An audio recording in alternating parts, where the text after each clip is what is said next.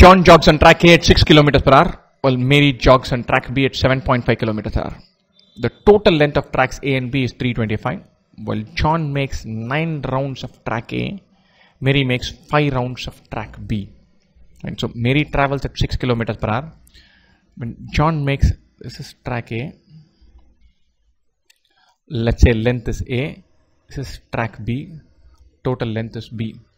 John travels 9A, the same time Mary travels 5B. John will take 9A by 6 as a time. Mary will take 7 point, sorry, 5B by 7.5 because the speed is 6 kilometers per hour and 7.5 kilometers per hour. So time taken would be equal because while John makes 9 rounds, Mary makes 5 rounds. So the time taken for John should be equal to time taken for Mary. Distance by speed equals distance by speed. 9a by 6 is 3 by 2a. 5b by 7.5 is 2 by 3b. 3 by 2a equals 2 by 3b or a equals 4 by 9b. a is 4 ninth of b. The total length is 325 meters. a is 4 by 9 of b. 4 by 9b plus b is 325 or 13 by 9b is 325 meters. b is 325 into 9 by 13. This should be a multiple of 13. This is 25. b is 25 into 9 which is 225 meters. In how many seconds will Mary make one round of track A? This is 325 meters. Track B is 325 meters. Track A is 4 by 9 of that or 100 meters.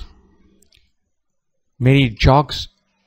In how many seconds will Mary make one round of track A? Track A measures 100 meters.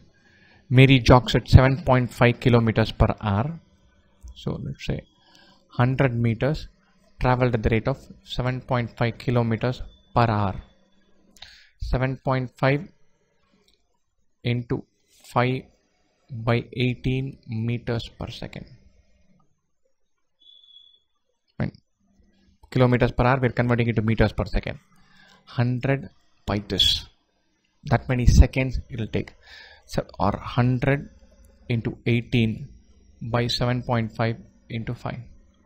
18 by 7.5, let's cancel off a 3, becomes 6. This is 2.5. Make it 5, make it 2. 5 into 5 is 25. 100 by 25 is 4.